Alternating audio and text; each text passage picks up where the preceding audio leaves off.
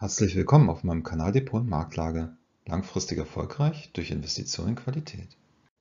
Hallo, schön, dass du wieder dabei bist.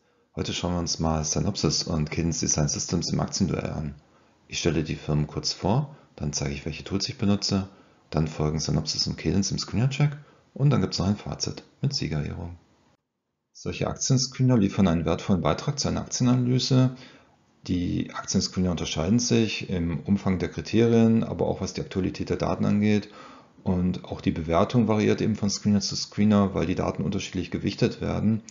Und ja, deswegen verwende ich auch ganz gerne mehrere Screener. Und es ist auch ganz wichtig, sich zum Schluss seine eigene Meinung zu bilden. Aber es ist auf jeden Fall so, dass so eine Bewertung, die dann immer recht anschaulich ausgegeben wird, in Form von Punkten oder Schulnoten oder Prozenten oder Sternchen, dass die doch recht hilfreich ist, um sich einen ersten Eindruck von einer Aktie zu verschaffen.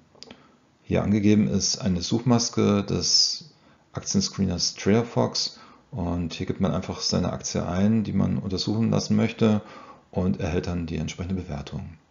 Ja, und wie immer bei jedem Aktienduell schauen wir uns auch heute zwei Firmen aus demselben Sektor an. Heute treten im Aktienduell Synopsys und Cadence Design Systems gegeneinander an ja, sie sind beide in Nasdaq gelistet und hier speziell im Sektor Informationstechnologie tätig.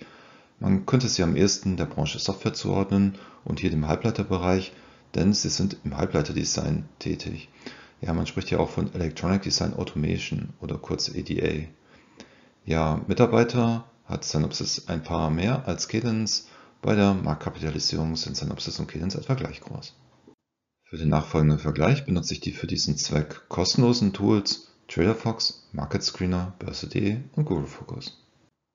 Die Firma Synopsys ist eine wahre Wachstumsrakete. Sie erreicht im TraderFox Qualitätscheck 15 von 15 Punkte. Ja, schaut man sich die einzelnen Rubriken an, Wachstum, Profitabilität, Kursentwicklung.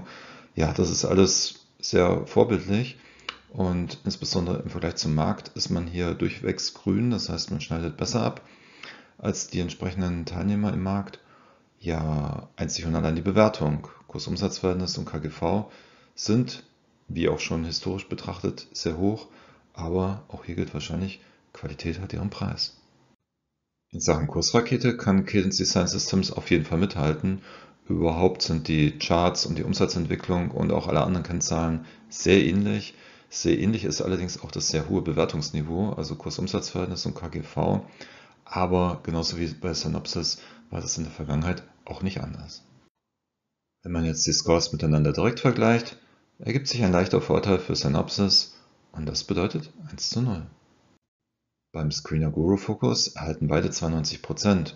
Natürlich ist auch Guru Focus nicht entgangen, dass die Bewertung recht hoch ist, also wirklich günstig sind die beiden Firmen auf keinen Fall. Und deswegen ist auch dieser GF Value Rank, also dieser Guru Focus Value Rank, relativ niedrig. Aber trotzdem, insgesamt sind die anderen Bewertungskennzahlen absolut vorbildlich und das bedeutet für beide einen Punkt. Dass die Finanzverschuldung bei beiden Firmen extrem niedrig ist, ist auch dem Market Screener nicht entgangen und er vergibt eine sehr hohe Wertung von 96% für Synopsys und 95% für Cadence. Im Rahmen der Toleranzen ergibt das für beide einen Punkt. Zum Schluss vergibt noch der Screener Börse.de an Synopsys die Auszeichnung Champion. Auch wenn Synopsys dieses Aktienduell gewinnt, so erreichen auch beide Firmen die Durchschnittsnote sehr gut und ich denke, dass beide gut geeignet sind als Depotbeimischung. Vor dem Kauf sollte man natürlich nochmal schauen, wie steht es um die Prognosen und die Marktlage und man kann natürlich auch eine technische Analyse heranziehen, um einen geeigneten Einstieg oder Nachkaufzeitpunkt zu ermitteln. Ich denke, dass beide für ein Basisdepot gut geeignet sind, aufgrund des großen Burggrabens und der hohen inneren Diversifikation. Ja, in Synopsys bin ich schon selbst investiert. Ich habe ja auch schon eine Aktienanalyse gemacht. Und ja, ich würde weiterhin stufenweise nachkaufen, um letztendlich vom Durchschnittskosteneffekt zu profitieren. Wenn dir dieses Video gefallen hat, würde ich mich sehr über ein Like freuen und abonniere meinen Kanal, um kein weiteres spannendes Aktienscreener-Duell zu verpassen.